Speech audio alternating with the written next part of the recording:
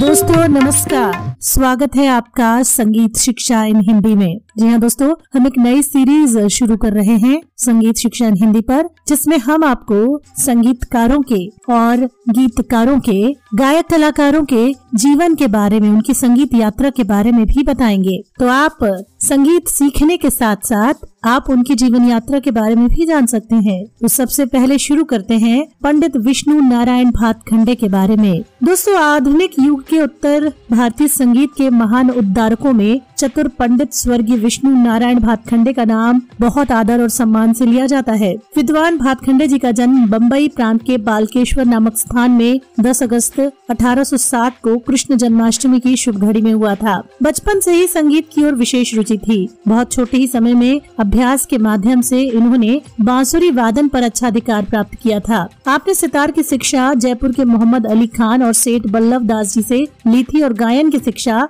रामपुर के नवाब कल में अली खान और गुरु राव जी बेल बातकर और ग्वालियर के पंडित एकनाथ राव से ली थी। संगीत सीखने के साथ साथ आपको विद्या ग्रहण करने में भी विशेष रुचि थी। इसीलिए विष्णु नारायण जी ने सन अठारह सौ तिरासी में बीए और 1890 में एलएलबी भी कर लिया था। बम्बई और कराची की छोटी अदालत में कुछ दिनों तक भातखंडे साहब ने वकालत भी की थी। दोस्तों, अगर ये वीडियो आपको अच्छा लगे तो दिल से एक लाइक ज़रूर दीजिएगा और शेयर ज़रूर कीजिएगा। साथ में अपने कमेंट्स भी दे सकते हैं अगर आप संगीत के पुजारी हैं, संगीत को पसंद करते हैं तो कमेंट भी कीजिए और बताइए कि वीडियो कैसा लग रहा है और ये जानकारी, ये जीवनी आपको कैसी लगी। तो आपको बता दें कि भातखंडे साहब ने संगीत का पर्याप्त अध्ययन किया, उसके बाद 1904 में संगीत संबंधी खोज के लिए यात्रा शुरू कर दी। सबसे पहले दक्षिण भारत गए, उत्तर भारत के नगरों का भ्रमण किया। प्रमुख स्थानों में जैसे हैदराबाद, मद्रास, तंजौर, मैसूर, विजयनगरम, नागपुर, अहमदाबाद, आगरा इलाहाबाद लखनऊ, दिल्ली और बीकानेर भी गए।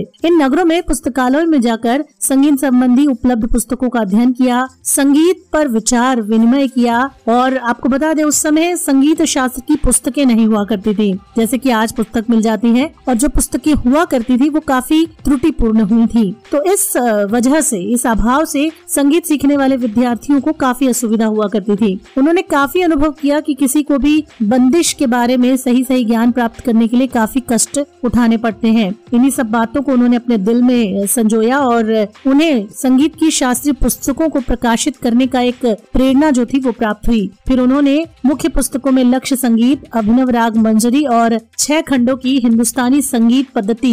ये जो पुस्तकें थी, इनसे उन्होंने जानकारी ली और इन पुस्तकों के आज के संगीत प्रेमियों में जो लोग हैं, उनके लिए उन्होंने एक नई पुस्तक का इजाद किया और उन पुस्तकों को पढ़ने के बाद, अपने ज्ञान के साथ साथ उन्होंने संगीत प्रेमियों के हित में जो किया, दोस्तों वो कभी भुलाया नहीं जा सकता। भातखंडे जी को संगीत के शास्त्रीय पक्ष से विशेष रुचि थी। वे संगीत के क्रियात्मक पक्ष पर अधिक ध्यान नहीं दे पाए। संगीत को पंडित भातखंडे जी की सबसे बड़ी देन है कि उन्होंने सरल और सुबोध स्वरलिपि पद्धति को जन्म दिया। समय समय के साथ कई स्वरलिपि पद्धतियाँ प्रचार में थी, लेकिन कुछ न कुछ त्रुटियाँ थी, इसलिए उन्होंने एक नवीन स्वरलिपि पद्धति, भातखंडे स्वरलिपि पद्धति का निर्माण किया, जो विशेष तौर पर प्रारंभिक विद्यार्थियों के लिए काफ़ी लाभदायक थी। प्रत्येक राग की बारीकी, उसमें होने वाले, यूज़ होने वाले जो कण है, मुर्की है, खटके हैं, उनका वज़न, जो स्पष्ट नहीं थे, उनको उन्होंने स्पष्ट किया। और साथ ही बंदिश और राग की रूपरेखा की पूरी झलक उसमें मिलने लगी। अतः अत्यधिक सूक्ष्म में वैज्ञानिक न होने पर भी इस पद्धति के माध्यम से किसी भी बंदिश को स्थायी रूप से सुरक्षित ज़रूर रखा जा सकता है। इसी दिशा में भातखंडे जी ने एक नया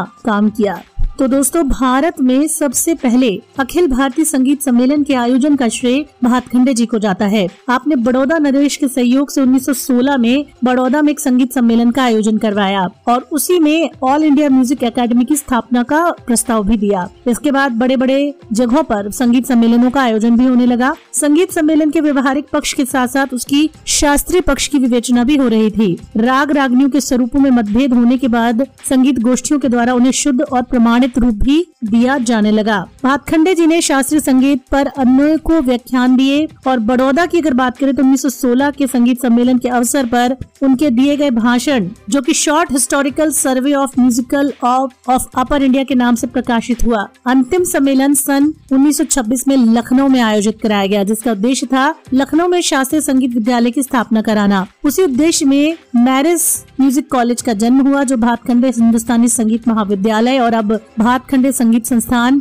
डीम्ड विद्यालय के नाम से विख्यात है। संगीत का दूसरा विद्यालय ग्वालियर में है। माधव संगीत विद्यालय के नाम से। भातखंडे जी के शिष्यों की अगर बात करें तो मुख्य शिष्यों में पद्मश्री कृष्ण नारायण का नाम विशेष रूप से उल्लेखनीय है। भातखंडे जी ने अपने जीवन के प्रत्येक क्षण को संगीत की सेवा में अर्पित किया। इस तरह आज के संगीत शिक्षकों, प्रेमी और विद्यार्थियों को उस सदा के लिए ऋणी बनाकर 11 सितंबर सन 1936 को इस दुनिया से रुखसत हो गए। दोस्तों, संगीत की अगर बात की जाए तो संगीत जो है, संगीत एक ऐसी दिशा है जो हर किसी को एक नई दिशा में लेकर जाता है। तो संगीत के दिशाओं को हम व्याख्यित करते रहेंगे इसी तरह। दोस्तों, आपको बता दें कि पंडित भातखंडे के लिए हम आपको कुछ ऐसी बातें भी बताएँ। दोस्तों, जो शायद आप नहीं जानते होंगे। एक विद्वान व्यक्ति और प्रख्यात संगीतकार तो वो थे ही। साथ ही साथ उन्होंने भातखंडे संगीत शास्त्र की जो रचना की, कई केंद्र स्थापनाएँ किए, कई संस्थाएँ बनाई। इसके अलावा उन्होंने संस्कृत में, मराठी में, हिंदी में, अंग्रेज़ी में भी किताबें लिखी।